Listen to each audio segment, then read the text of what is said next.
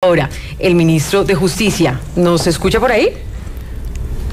Hola, buenos días. Hola, ministro, ¿cómo está? Muy buenas tardes. Aquí lo escuchamos bien. ¿Usted nos escucha? Sí, señora, los escucho muy bien. Perfecto, gracias por atendernos. Eh, queremos preguntarle de una vez cuáles son los puntos principales de este decreto que permite tener las líneas claras para regular semillas de coca, amapola y cannabis para uso médico y científico. E industrial también, miren, E de lo que se trata es de regular por primera vez unas normas que están expedidas de hace 40 y 50 años que, va, que permiten usos industriales, piense usted en plásticos, textiles, fertilizantes, cosméticos, alimentos, como también usos medicinales o usos eh, o investigación científica con planta de coca o de amapola. Ya, como ustedes bien lo decían, con cannabis existe una regulación, incluso tomé nota del comentario de que era excesiva. Eh, pero respecto de lo que eh, estamos proponiendo ahora, es simplemente que el Estado conceda licencias para esos usos, por supuesto con tremenda vigilancia y con precauciones, pero es la, una de las formas predilectas de transitar a economías lícitas. Una persona que cultive hoja de coca se puede asociar un grupo de campesinos con el municipio donde están o con una entidad pública y solicitar esa licencia siempre y cuando vayan a utilizar la hoja de coca para productos lícitos que ya científicamente se sabe que se pueden hacer, es más, que ya en otros lugares del mundo y también en Colombia se fabrican. Lo de los fertilizantes es algo que ha tenido ya algún desarrollo y también polímeros, hay investigaciones de la Universidad Nacional, del SENA, que así lo han establecido. Entonces se trata de eso, por supuesto que va a ser una regulación restrictiva, por, porque también después sabemos lo que, de esas sustancias se pueden obtener sustancias psicoactivas y precisamente se trata de evitar eso y que solamente se puedan obtener sustancias que no afectan la salud, pero que sí le permiten a estas comunidades transitarse a economía lícita y así contribuir también al desarrollo del país y a abandonar la economía de la cocaína y de los narcóticos. De todas formas, sí quisiera que nos explicara, eh, digamos, más profundo el tema de en qué consiste esta regulación, en qué cambia, digamos, lo que ya existe hoy, porque el hecho de utilizar semillas de coca, amapola y demás para desarrollar eh, productos y la industria, pues eso ya está mm, funcionando en el país desde hace mucho tiempo y como lo comentábamos y usted también lo menciona, pues tiene un exceso de regulación que es lo que no ha permitido que se desarrolle completamente como se debería hacer teniendo en cuenta el potencial que tiene Colombia en producción de estos de estos insumos. Los usos lícitos de hoja de coca siempre han tenido que ocurrir por una restricción legal que hasta ahora existe en cultivos que estén dentro de resguardos indígenas.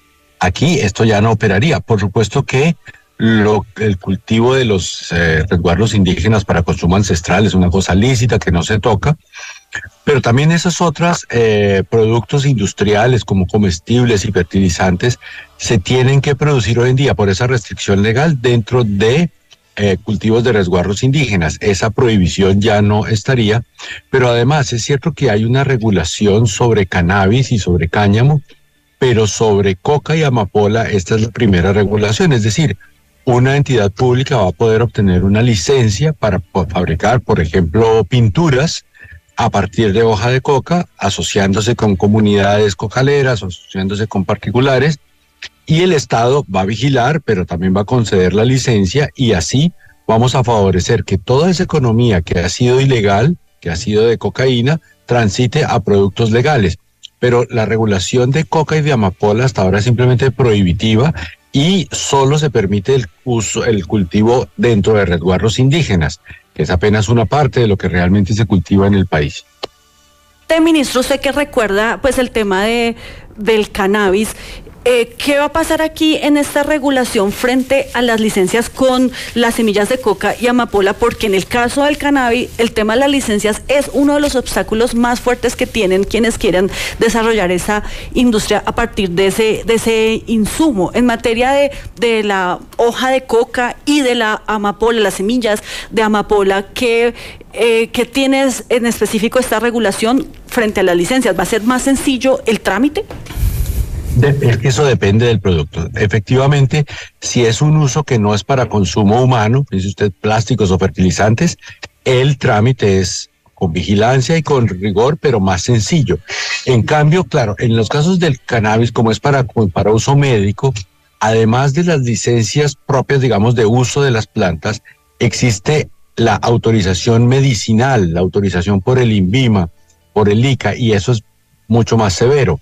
Con la coca va, ocurriría lo mismo. Si se trata de un uso industrial que no es para consumo humano ni animal, eh, el trámite es más sencillo, con vigilancia, pero más sencillo. Pero si se trata de un uso medicinal o de un uso para consumo, piense usted de alimentos, gaseosas, en fin, saborizantes, el trámite es complejo, como ocurre con cualquier eh, medicamento o con cualquier alimento que pueda circular en el mercado. Pues para todos es una buena noticia y es un avance que se regule este uso de estos eh, de la coca, de la amapola, también del cannabis para uso médico y también industrial, como usted lo ha manifestado. Pero de todas maneras también queda en el ambiente el incremento de cultivos ilícitos. Ya la Oficina de las Naciones Unidas contra las Drogas y el Delito advertía que son 230 mil hectáreas de cultivos ilícitos en Colombia. ¿Cómo se va a trabajar de la mano con el Ministerio de Defensa y la Fuerza Pública? Pues justamente para equilibrar ambas cargas. Por un lado la regulación y por otro la lucha contra el narcotráfico.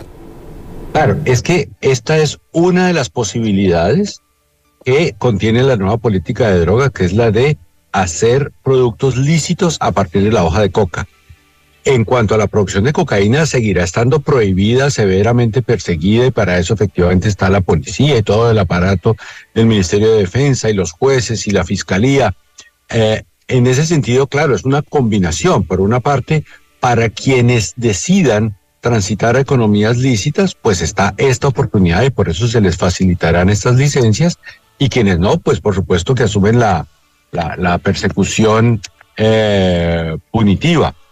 En ese sentido, eh, quisiera mencionar que la medición que usted menciona de 230 mil hectáreas, que es la de 31 de diciembre del año 22, pues eh, no, digamos, no tenemos todavía los datos del año 23, ni, ni podríamos tenerlos porque no ha terminado, pero en el plazo mediano es cuando se podrá ver si esto efectivamente eh, hizo que disminuyeran las hectáreas. Sin embargo, si disminuye la producción de cocaína, porque una buena parte de las hectáreas de coca se estén destinando a usos lícitos, el problema sigue estando resuelto aunque haya cultivos. El problema no es que haya cultivos, el problema es que haya cocaína. Ministro, sabemos que se tiene que ir, pero no quiero dejarlo ir sin preguntarle por una extradición que acaba de firmar el presidente Gustavo Petro y es de uno de los narcotraficantes ecuatorianos más buscados en los Estados Unidos. Se trata del gato Farfán. ¿Qué detalles nos puede entregar usted y por qué es tan importante este anuncio? Ya luz verde para que se vaya a Estados Unidos. Sí, efectivamente, eh, con la celeridad con la que siempre lo hacemos. Eh, la semana pasada llegó de la Corte Suprema de Justicia la autorización de extradición eh, la revisamos en el Ministerio de Justicia ya el presidente de la República la autorizó. Eh, esto tiene un recurso de reposición. No, no sé si la persona lo irá a interponer. Si lo interpone, pues se resolverá dentro de los términos. Y en dado caso de que o no lo interponga o lo interponga y se ha decidido se ha decidido confirmando la resolución, ya se le entregará a las autoridades de los Estados Unidos para que procedan a su traslado importancia de este narcotraficante, recordemos que aquí en Colombia pagó, quería fugarse y además intentó asesinar a unos guardias del IMPEC. Sí, eh, eh, por eso está sometido a una vigilancia eh, especial, severa, por, esa, por esos antecedentes que tenemos y comunicaciones que, que hemos obtenido y y pues estaremos atentos a que no vaya a ocurrir ninguna anomalía allí y que la extradición se dé, por supuesto, dentro de los términos legales y respetando sus garantías, pero a la mayor brevedad. El ministro de Justicia, Néstor Osuna, gracias por esta información bien importante sobre la regulación de las semillas de coca y amapola para uso médico, científico, industrial. Gracias. Felicidades, buen fin de semana. Buen fin de semana, Mauricio. Y ahí nos daba detalles entonces el ministro sobre esa extradición. el presidente Petro firmó la extradición del gato Farfán. Mostremos incluso el documento que lo tenemos nosotros aquí en Sigue la W y recordando lo que ha sucedido con los guardias del IMPEC, ¿no?